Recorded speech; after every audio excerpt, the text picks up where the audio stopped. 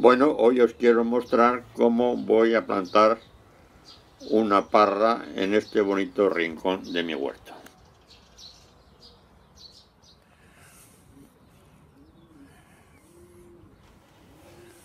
Las herramientas que voy a emplear son la paleta pequeña de trasplantar, posiblemente tenga que emplear la pala, luego mi cazo rumano para sacar la tierra, mis inseparables rodilleras, trabajo mucho de rodillas, un cubo con turba y un cubo vacío para rellenar la tierra.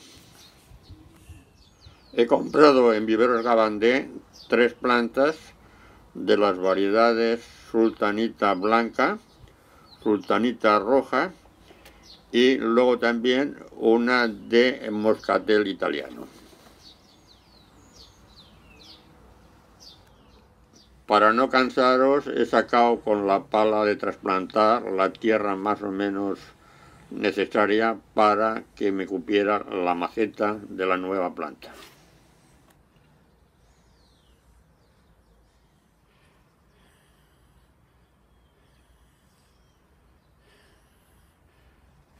He querido confirmar hasta dónde debía de plantar y mi buen amigo Manolo me ha dicho que tenía que cubrir el injerto y ponerle un poco de turba alrededor.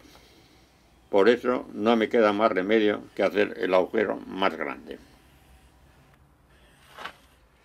Bueno, he puesto turba eh, de tres dedos en el fondo.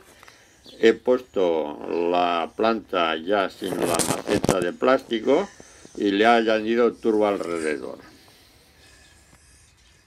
he ido poniendo turba, apretándola bien bien con el puño y luego al final he puesto un poco de montañita para cubrir la parte del injerto, pues ahora le vamos a poner tierra. Finalmente eh, lo he rellenado con tierra y luego lo he apisionado simplemente poniéndome de pie y apretando con los pies, como podéis ver por las huellas.